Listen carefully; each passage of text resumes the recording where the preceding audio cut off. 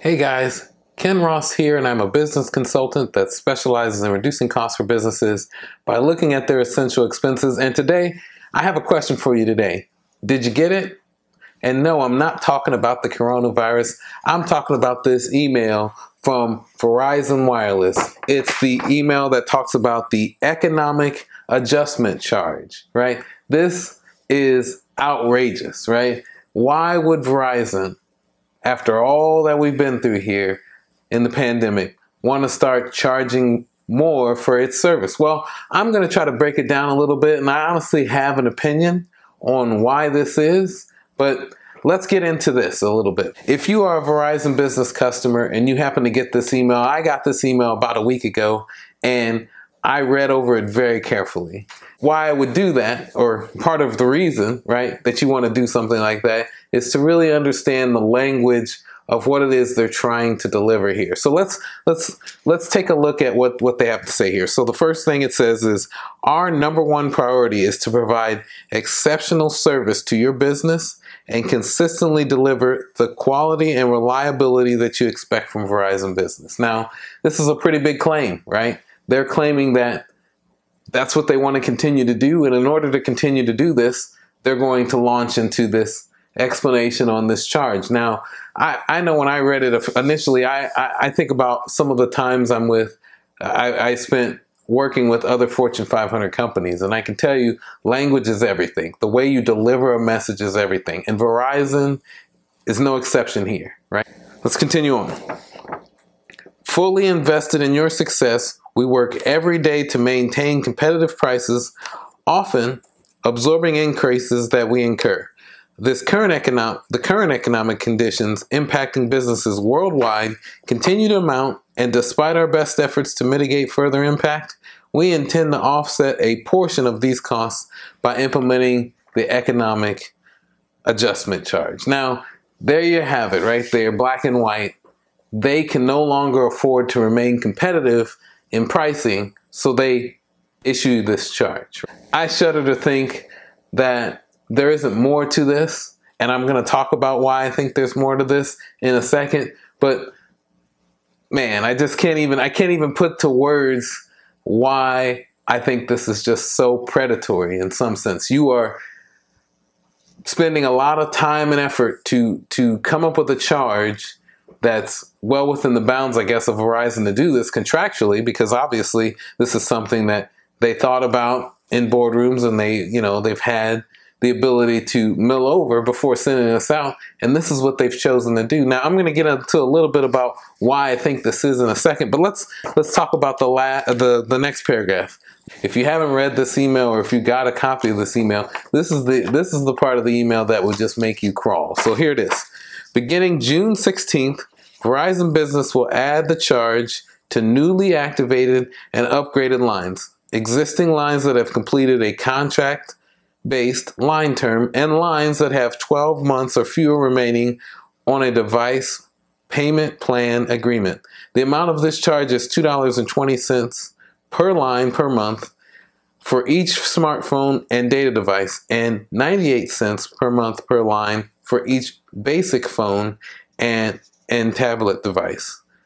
As lines meet these criteria, the charge will be automatically added to your bill. You can find the economic adjustment charge in the other charges and credits section of your bill. Now, it's very important that as a consumer, you check for this charge. It's also very important that you follow up with their claim here. Are you being charged $2.20? And is that all the charge is? Because from what I understand of bills, right, and from what I what I've gathered of studying and researching these things, it's not just the $2.20. It's $2.20 plus the tax in your state. Your $2.20 charge per line as it racks up could be 10, 20, 30, depending on how many lines you have, it could be a significant increase to your bill. Now, what can you do about this, right? Because honestly, here's what I really think is going on with Verizon. Verizon has added up the numbers, right? Because the government has passed this infrastructure bill. And included in the infrastructure bill is $65 billion, that's with a B, for broadband and 5G. right? And they've been talking and they understand kind of what's coming, right? What is going to be provided to broadband providers, including Verizon Wireless, when it comes to this? And how can we leverage those funds to continue to advance our agenda in 5G? And there's not enough there. So they have to come up with some way to raise funds. And this is the way that they're choosing to do it. Now, what is what is it that we can do about it? We can certainly do a lot of things. Now, I know um, I talk a lot about this on my channel, but we really need to stay committed to mitigating these types of things. And the only way you're going to do that is to follow some of my steps. I, I include them in a series, and I'm going to put that on this side of the screen over here that talks about how to best save money today. First thing is talk to your friends. Ask them about this email. Say, hey, did you get this email from Verizon Business. Let me talk to you about it. Let me break it down. I, I got a copy of my bill. It's on there. You get the did you get the charge and why didn't you get the charge? Let's let's understand it, right? Because Verizon has a way with language, right? They're saying, hey, this is okay, you know, just take the two dollars and twenty cents and be happy because we're going to continue to drive good service. But you can definitely fight back by sharing information. The other thing you can do is you have every right, given that they sent you an email, to send an email back or to communicate in some way back to Verizon Wireless and say, hey, what are these charges? Help me understand this when it comes to my bill. I'm, I'm a little confused. Maybe I need to make some economic adjustments of my own because honestly, I don't want to pay and I'm, I'm not in a place to pay an extra $2.20 per line. And, and think about it this way, right? As a bigger corporation, let's say you're a much larger corporation and you have hundreds of phones and this $2.20 is being added to every one of those phones, you'd be in a different place financially, having to afford to pay Verizon even more money to keep the same service for your employees. It's, it's definitely something to have a conversation with a Verizon rep with. If you have a good Verizon representative, it's always something, it's always an easy uh, thing. Forward them the email and say, hey, what is up with this charge? I want to understand how that affects me as a consumer because I, I can't I, I can't make heads or tails of this. I got to budget this. This is something that's important to me. And he's going to make, he or she is going to make that important to them as well. They're going to try to give you an answer that can help you make good decisions because they don't want to lose you as a customer. They certainly want to charge you as a customer. So I would think that that would help with their quality of service, right? They say they want to deliver good service. Lastly, think about this. What would another carrier do in this situation, right? What can you get in comparison to another uh, with another carrier? That's the third step in my process. And I can guarantee you this, that there are many boardrooms outside of Verizon Wireless, the T-Mobile boardroom or the AT&T boardroom, where they are sitting down and they are talking about this charge and what it's going to do to the customer base at Verizon Wireless. And also what it's going to do to their customer base. They have to consider what this means to them, right? They they're going to look at the dollars and cents and say, "Hey, look, Verizon did this and they were fairly successful or they weren't," right? Because we're going to offer incentives to Verizon customers. We're going to talk to them about this charge and say, "Hey, are you fed up with Verizon nickel and diming you? Well, come to T-Mobile and we won't do that.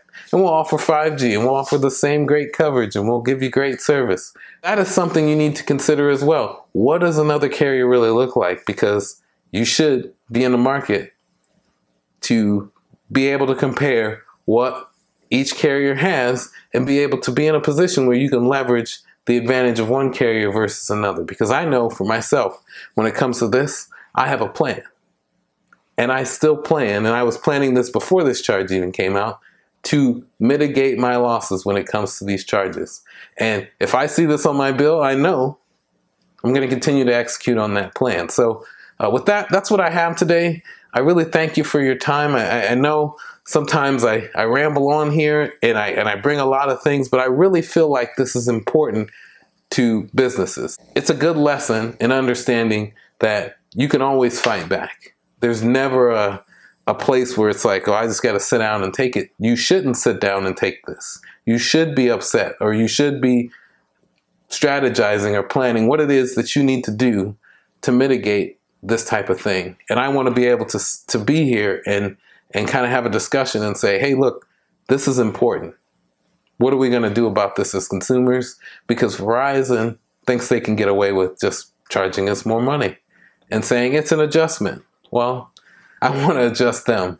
That's just kind of my thing. So uh, please put down in your in the comments section below on this video what you think about this charge. If you're getting charged the economic adjustment charge, uh, if you've been able to locate it on your bill, would love to hear your feedback on this. I'd also love to hear your feedback on what other topics I can cover. I spend a lot of time researching things and I spend time spit, spitting out all this information on video and, and embarrassing myself sometimes to bring you this relevant information. I really love doing this because this is something I think is very useful to businesses, the sharing of information, and I want to continue to see it grow. So please tell me what topics of discussion you would love to hear on this channel, and I'll do more research and I will bring them to you. I love doing that. Um, tell your friends about this channel. Let them know, hey, it's here. If you aren't subscribed, please subscribe. Please like and share this video with your friends. And visit my website, I am kenross.com. And until I see you next time, I'll see you around.